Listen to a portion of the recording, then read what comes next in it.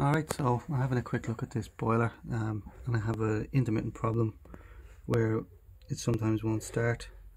Um, at the moment I'm, I have it up and running but um, I have this cover removed so I can take the cover off the boiler but you will get some blinking codes here some either fast or slow and there's a chart that I'll add onto the video that actually describes um, the diagnostics of those and tells you um, what might actually be causing the problem.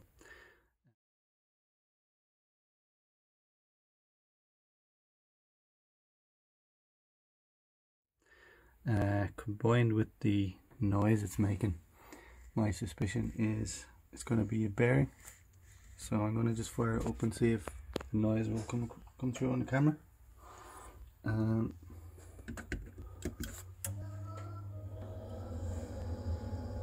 So we can hear the normal noise as the fan gets going. Um, sometimes the fan isn't getting going, so that's why I'm suspecting the bearing. Um, but there's also a kind of a whirring noise in there, which is typical of when a bearing is on its way out.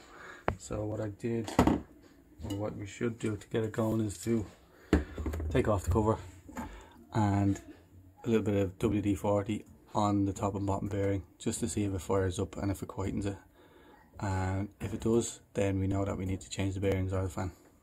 So I'm going to just take this cover off and then come back.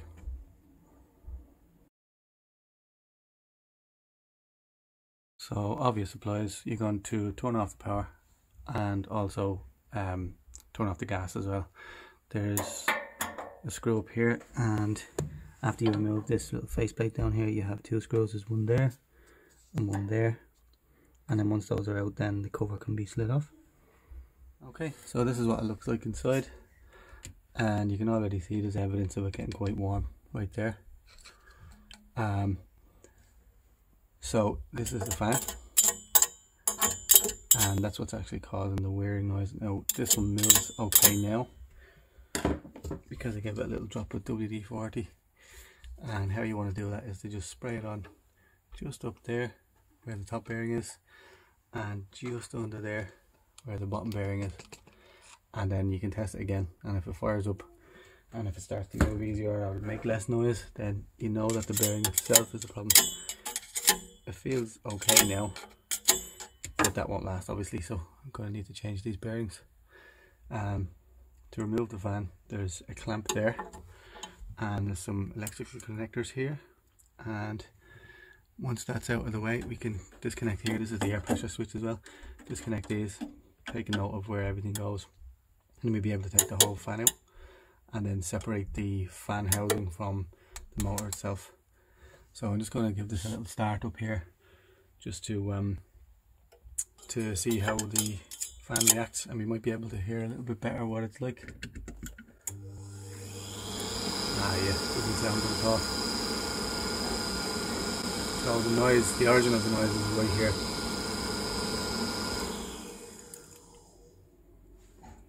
power down again.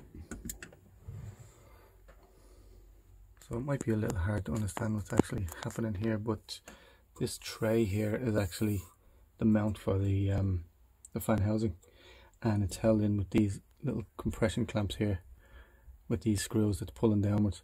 So once this is loosened here and here, um, we should be able to then slide this out. And I've already loosened the Jubilee clip that's in the back there, and then we'll undo that one if we need to wiggle it a little bit. Um, power cables are off here and then disconnect those and should slide away nice and easy. So with this one loosened here you can kind of see how it moves. It's just slid it on the track there. Um, some of them can be a little difficult to get to so there's one, can you see in there? One in the back and on this side as well there's one just over there. Um, so if you can't reach those what you can do is using a small screwdriver like this. From the side you can actually loosen the rail that's holding those on. So that's what I've done just right there. Just loosen that and effectively the same as getting in there and loosening that one. So everything's loose now. We have the bolt taken out of here and the only thing holding it in now is this uh, clamp. So I've undone the clip and it's like a kind of a moon shaped clip that goes around the back of the pipe. So you just straighten out the clamp itself like that and then off she comes. And then we should be able to get a bit of movement out of this itself.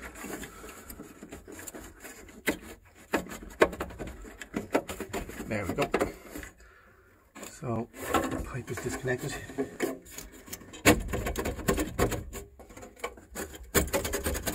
and the fan is coming out so you can see the fan on the other side there we just need to disconnect some of the, um, the pipes here.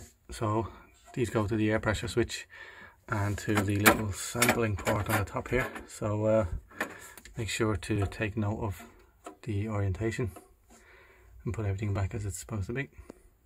Alright, so I have the fan out now and on the uh, workbench. So the aim here is to take this bearing and the one on the opposite side which is just in there and replace them with um, these two MTK bearings that I got. So what we're going to have to do is take off these circlips and this um, cap that's on the top of this bearing and we might have to remove the um, screws here that mount the actual plate to the bearing housing because we're probably going to have to knock that shaft out through the top bearing but we'll um, cross that when we come to it. So the way this kind of works is, um, so obviously you have the motor here. This here is like a cooling fan, and on the inside of the housing itself is the actual blower fan, which is in here. So there's effectively two fan blades. Um, and that's what stops you from just lifting it up. So we need to actually bring the shaft out through the bearing and through the coupler here. So this probably has an Allen key on the shaft that's actually locking it onto the shaft there. Um, but we'll have a look at that once we get this stuff out of the way. So I've removed the bottom plate and the elbow here and if you look through here you'll see there's actually a hole in one of the fan blades and that's so you can sneak through an Allen key and that Allen key will then go into um, the shaft in here. And you want one that has a bit of length to it. And there's a little um, a little key in there that's locking this piece onto the shaft. So we just want to break that loose like that. And then that should come off. Um, once that comes off then we'll be able to separate the um, top section here. I've already removed the three spring clips um, so once we get this bottom piece off the whole top piece will come out. Okay so a little progress. Um, if I flip this over I've managed to loosen the Allen key there and twist the um, the blower fan off the shaft itself. So this is all completely separate now. And since I took these spring clips off this whole unit should lift away and there we have it. So that's the entirety of the motor that's the shaft that was keyed onto the Allen key down below. Um, so we can put this aside. There's also this little spring in here. Um, so loosened off these Phillips and then we can lift that away.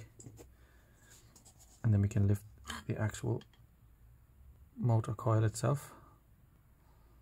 There we go. So then we're left with just this bearing here and that bearing down there. So what we have to do is knock this out make sure not to deform this fan and then we can um, install these new bearings hoping that we have the right size and then we're good to go. So yeah we found the culprit in this bearing. Um, I just gave it a quick brushing and we can see the size of it is 626 Z1X um, it's inside this little conical housing here so we have to knock that out and then I can install this bearing here the MTK one and you can see just how stiff it is. It just will not turn. In fact, I might pop out the um, shielding on it there and see if we can see inside.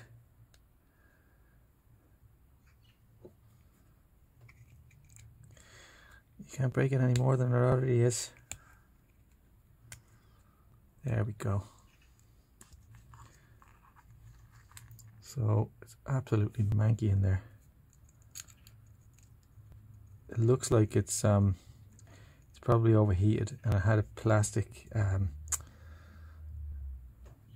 like um, a plastic bearing cage and that's melted and actually just clogged up the whole bearing. So this one here actually has a metal cage inside and then metal shields on the outside so hopefully there'll be a bit more longevity in that one.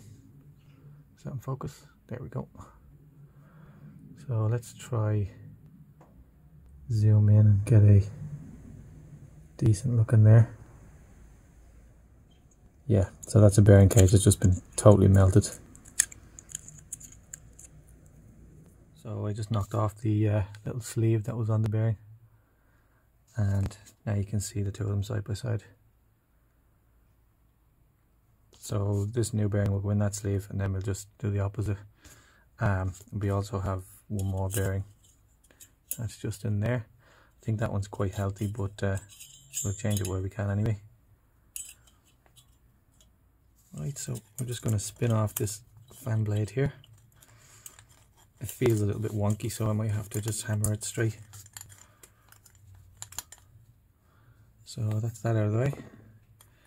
Then off comes that and the same again. This one is a lot healthier.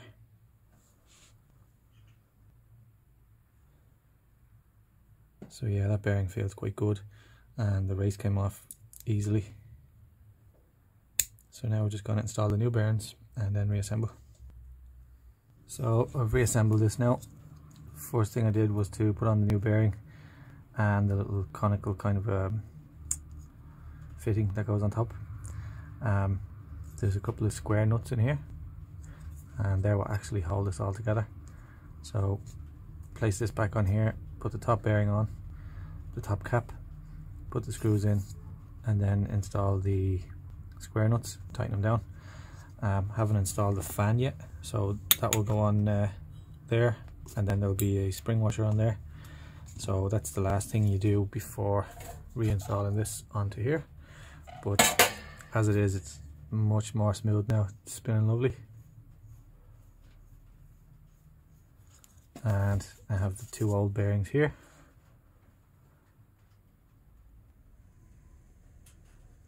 So this is the bottom one and this is the top one. The bottom one is actually still quite good and the top one is absolutely worn out. It won't, it won't turn at all.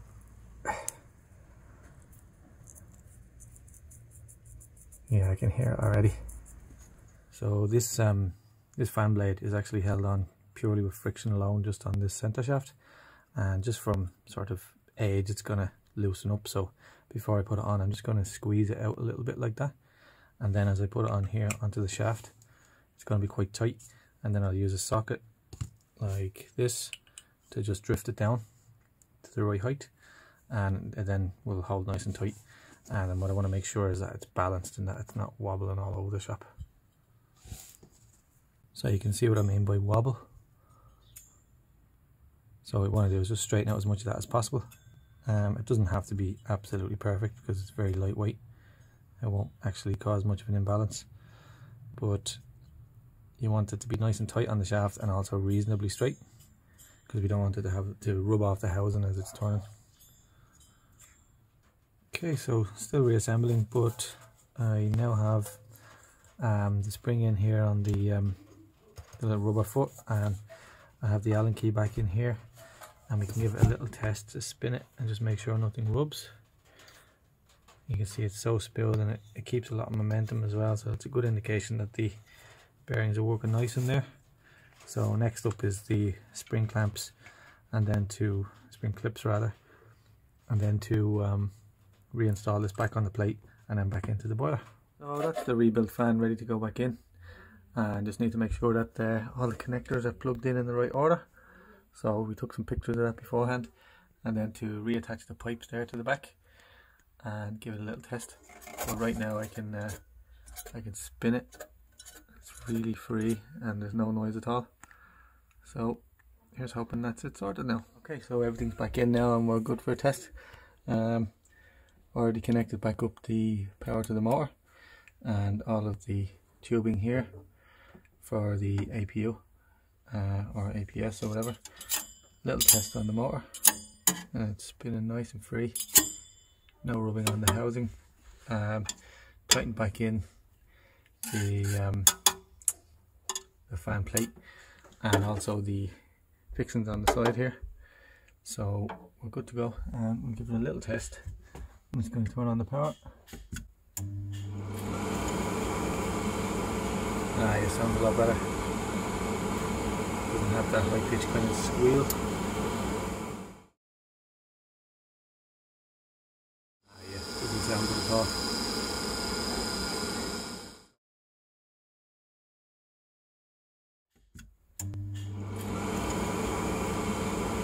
Ah, yeah, sounds a lot better.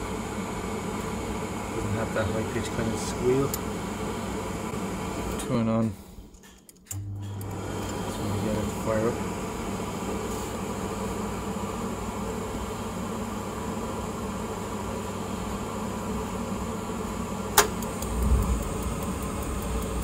There we go. Sounds good.